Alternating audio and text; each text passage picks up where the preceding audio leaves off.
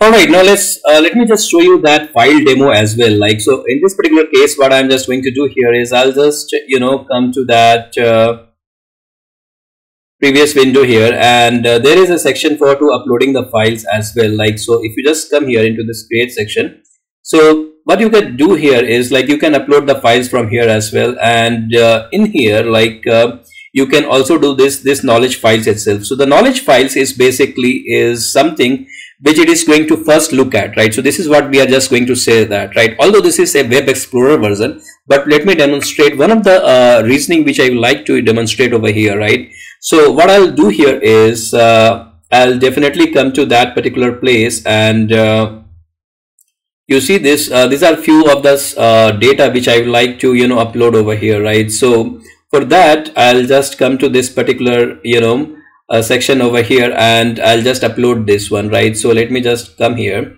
and uh, and I'll just select these right? So what I've done is I've selected these three files and these are three JSON files and I'll show you like what are exactly this and uh, you know this is uploading the files over here because this is what my this is my knowledge database which I wanted to upload here. You can upload anything. Let's say you can upload any CV you can upload any kind of PDF or whatsoever the data which you like to you know. First chat GPT analyze and uh, think about that particular data in this particular repository which wherein you're uploading.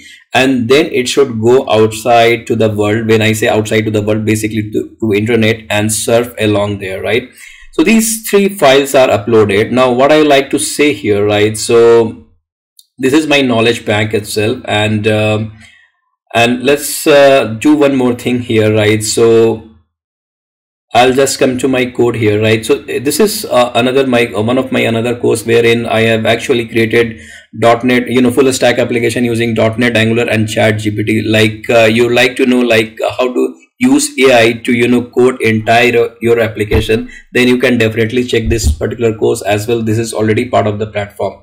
So you just need to uh, search either for my name or you can just search for this particular course itself and you can find that one right? So this is the full stack application using .NET Core Angular and chat GPT by the way I look for this particular this is the products JSON and uh, this is the brands JSON right? And this is the types JSON right? So I like to know about this particular uh, product. And let's say and this is having some uh, the name is uh, with this. By the way let's go ahead and check out that like what is the description for that one. And if I just go here and let's try in this particular preview itself. Can you let me know about you know this product and let's see what it gives here.